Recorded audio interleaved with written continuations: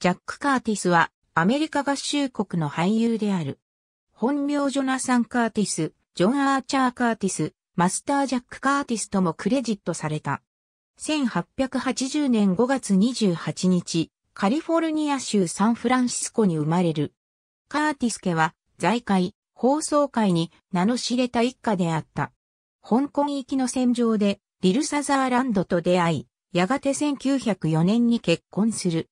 カーティス夫妻は、ボードビル演劇の一座に所属し、各地を旅した。1914年4月7日、娘のローラ・アン・カーティスが誕生する。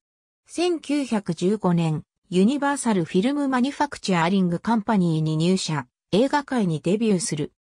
同年中は、バートン・キングらが監督する短編映画に出演していたが、1916年、同社が子会社として制作会社ブルーバード映画を設立。その第一作としてロバート・ゼット・レナード監督の某を発表。カーティスは同作で初主演を果たす。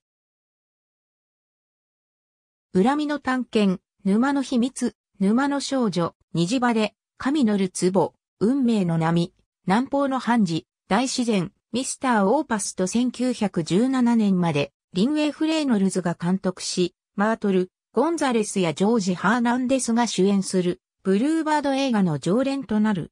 同年、レーノルズ、ハーナンデスと共にトライアングルフィルムコーポレーションに移籍する。1949年、ツマリルが死去する。1951年、ジャック自身も脳梗塞で倒れ、映画界を退く。